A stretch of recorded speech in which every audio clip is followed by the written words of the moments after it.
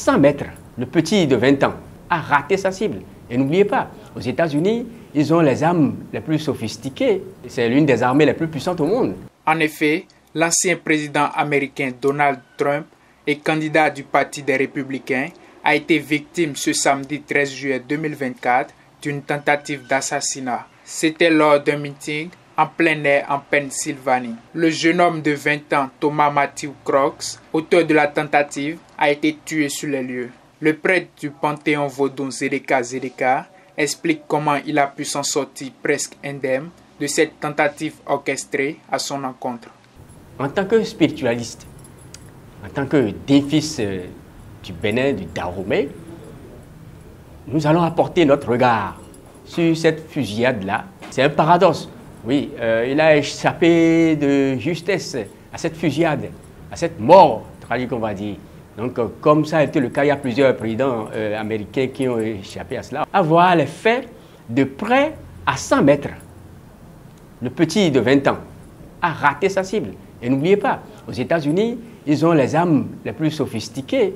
Ils ont les armes les plus sophistiquées. Voilà, c'est l'une des armées les plus puissantes au monde.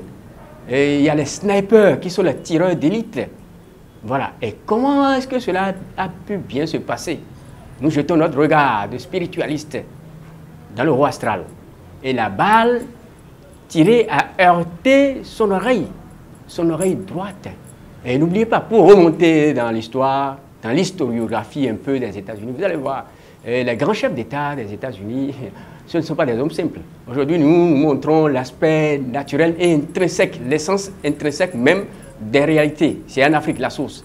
Mais eux, ils ont transformé ces réalités-là en secte, en loge, d'accord Et n'est pas président des États-Unis qui veut, mais qui peut? Il faut, dans ces loges-là, dans ces ordres, il faut s'armer spirituellement. Et c'est justement de ça qu'il s'agit.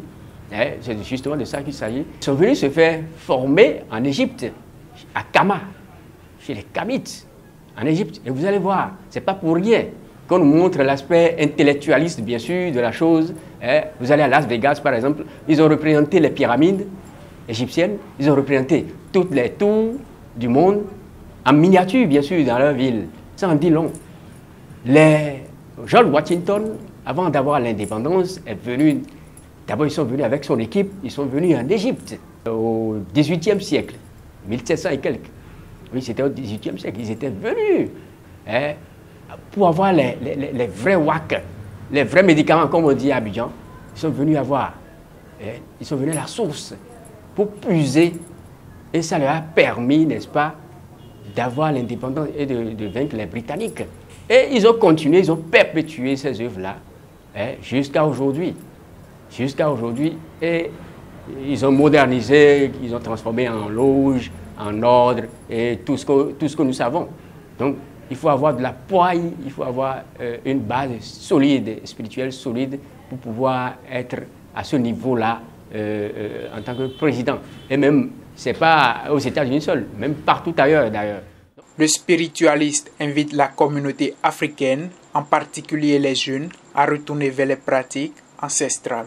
Nous devons, n'est-ce pas, revenir à notre base, à notre spiritualité pour se protéger protéger ses arrières pour que les dangers du genre, hmm, des détracteurs, ceux qui nous en veulent et, eh, et qui sont là, qui veulent nous éliminer, ne puissent pas nous atteindre, ne puissent pas mettre fin prématurément à notre vie ici-bas, parce que chaque individu ici-bas a sa mission sur Terre, a sa mission accomplie. Il ne faudrait pas qu'un individu, un vil individu, ou bien des gens de mauvais acabit viennent mettre fin, n'est-ce pas, à votre destinée tant que vous n'aurez pas fini. Donc, il faut prendre les dispositions nécessaires pour pouvoir éviter ce genre de trucs. Donc, en tant que digne fils d'Afrique, qui plus est dahoméen, il faudrait que nous revenions à nos bases, hein, à nos bases, que nous entretenions, n'est-ce pas, nos vestiges hein, du passé pour ne pas être confrontés à ces réalités-là.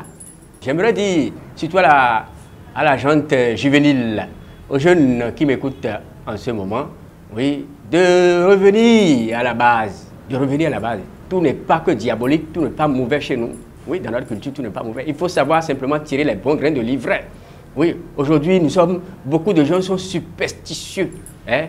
Hein? Superstitieux. La superstition a gagné tous les cœurs. On voit le mal partout. Hmm? Ne diabolisons pas tout. Il faut savoir que l'homme est le reflet de ses pensées. Si je pense bien, j'aurai du bien. Mais si je pense mal, j'aurai le mal. Tout n'est pas mauvais, tout n'est pas que mauvais. Il faut simplement avoir l'esprit de discernement, savoir distinguer le bien du mal. Et vous allez vivre longtemps et entretenons-nous. Ne nous laissons pas en vrac. Rien ne vient ni l'eau. Il faut se protéger. Il faut avoir une bonne base spirituelle, telle que nos ancêtres nous ont laissé. Et savoir les utiliser, les manier, les manipuler, tels que nous, on le fait. Et on le fait toujours. Nous avons été désignés pour cette mission et nous l'assumons bien sans en tirer de fierté, bien sûr. En cette ère où la technologie domine et où la spiritualité semble souvent reléguée au second plan, Maître Zedeka Zedeka rappelle une fois de plus l'importance de revenir aux sources pour trouver l'équilibre et la guidance nécessaires dans nos vies agitées. Maintenant, je veux faire autre chose, quelque chose d'excitant, de pratique, quelque chose de différent, c'est-à-dire de... de... De pratique, tu veux dire comme l'audiovisuel Oui, mais comment tu as su? J'ai ta solution. Allons à Vidéo Leader Formation.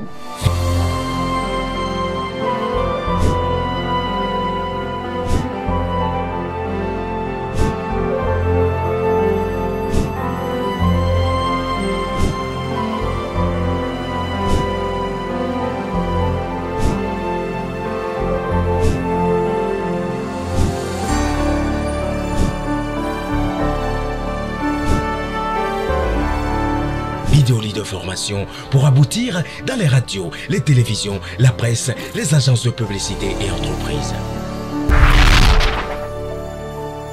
Vidéo Leader, numérisez votre vie.